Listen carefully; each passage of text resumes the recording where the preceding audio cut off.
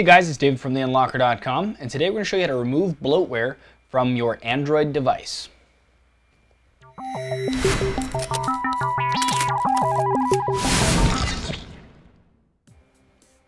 Okay, so before you begin, you must be rooted. Um, if you're not, you can head to our Android how-to section by clicking on this link here. And then you're going to search through our list here to find whatever device you're using. Um, and then do the how to root procedure for that specific device. Once you're done with that and you're rooted, then you can come back to this procedure and continue. Um, for this video, I am going to be using a Samsung Galaxy S4, uh, but it's going to work the same way as any device. Okay, on your device, you're going to go to the Play Store. So hit Apps, hit Menu, Play Store, and then you're going to search for no bloat.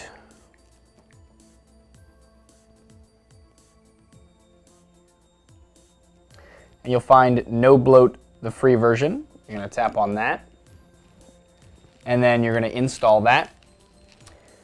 Then open it up. And if it asks you for super user permissions, make sure you select remember this always or forever or whatever it may say, and then click OK and grant it permissions. Once you get past that little pop-up, you're going to click on System Apps. And you're going to basically just go through this list and pick any apps that you don't want to have on your device. Uh, for example, let's say the AT&T Hotspots app. Tap on it, click Backup and Delete, and click OK. Now what this does is this backs up the app um, and also deletes it off of your phone. But we wanted it to back it up uh, just in case, because if you're deleting some of these apps, some of these might actually pertain to some features that you might want, like AirView and um, the other type of things that Samsung has put on the device. So we do this, um, that way we can kind of play around with the device before we actually delete it completely. Uh, just in case it's something we want to keep, we can go into this section in a second I'll show you and actually restore those apps. So in the meantime though, just keep going through all of these apps you don't want. Keep tapping on them, hitting up back and delete, back up and delete and click OK. Once you've got all of those apps done,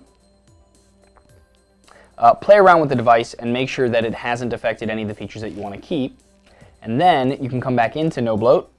Uh, and once you're sure that you want to get rid of something, click on Backed Up Apps. And then you can click on the actual app itself and click delete backup and click OK. This way now it'll free up the internal storage so you don't, um, so you can get more internal storage.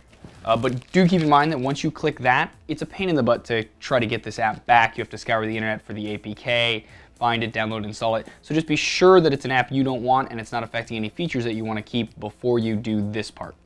Other than that, enjoy. you